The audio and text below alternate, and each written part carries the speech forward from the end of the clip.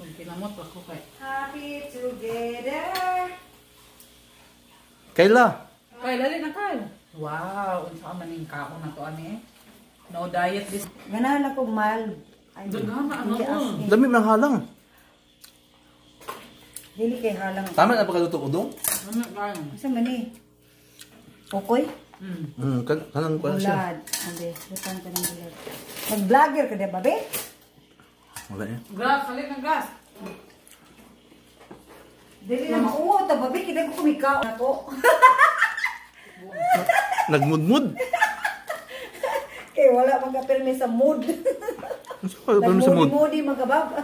Oh, oh, oh, sa bundi, mudi budi. Busy lang ko permente. Napakagato mo ka. Magtrabaho ka sa Sabado? Yo eh. Dagang mo trabaho dire. Napuk na nagkukuy tilapia. Dami sulit. Kaya tilapia ato na kaunan.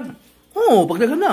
Tawag ka, may bag ko na. Lami man kayo na, Prito ko. lami. O sugba bab. Pinakauna ko na vegetable akong i-train. sugba bab, mo na lami. Sugba. Ngog niya, ya. Prito. Ya presko kayo nagkisi-kisi pa. Kilaw. Ha? Ayaw kilaw bab. Oy, di ko ganun ang kilaw lagi. Ano man? Kay sa fresh water. Naman na dilawang nga namin kay pag pagbilugaw sa tilapia. Di ko am. Marshall Bicol Express. Yun sa man. Digitaan. Oo, tigataan. Um, Lami man sunog ba ng kataan? Wala man yung tuloy. Dili ka mo kilaw? Si Silvet, di ka mo kilaw? Prito rin yung sinugba kong ganan na paksiw. Mora. Nga tilapia. O Pero, sinigang. pero nga lahi nga isda mo kilaw ka. Hmm. Gusto mong gibuhat. Kaon ko. Kami ba? Iya. Tao mo kilaw ka? Tatyo na lang na. Kailang, uh, bitin din yate, hindi ba doon sa kuap. Bitin sa bitin kung Di aquarium niya. Ros, hay! Mura ko gip. Tubuang, gubag-gubag. Bitin, na sa aquarium. Bito sa aquarium. Lang oy, na tubig. Kaya buang. Bitin? Ay, ang ginala niya, oh.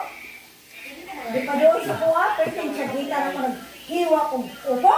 Taka ko na Silvet oy. Nadali gina kong slice. Mayroon ako lang nag-retain.